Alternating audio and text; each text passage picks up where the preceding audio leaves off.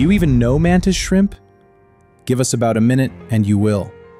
Here are a few quick facts. The last one is wild. They are stomatopods, not true shrimp or mantis. There are two styles of hunters. Smashers break shells. Spearers ambush and skewer passing fish. A spring-loaded arm stores energy like a bow. A latch mechanism unleashes faster than muscles can. Released in a blink, the strike reaches over 50 miles per hour.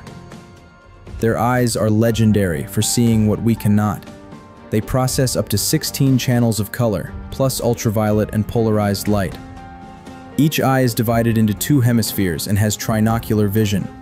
They independently swivel and gauge depth and distance using three distinct regions of focus. Smashers wield ceramic-like clubs featuring a layered, spiraling, and rigid structure composed of chitin, proteins, and calcium phosphate nanoparticles that shatter snail armor and clamshells. The impact-resistant structure survives repeated blows between molts.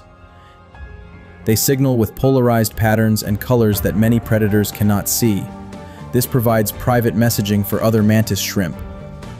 And finally, here's the wild one. Their hit is so fast it boils the water. Collapsing bubbles add shock waves and tiny flashes of light. Prey can be struck twice, once by club, then once by water. If the club misses, the water may still deliver damage.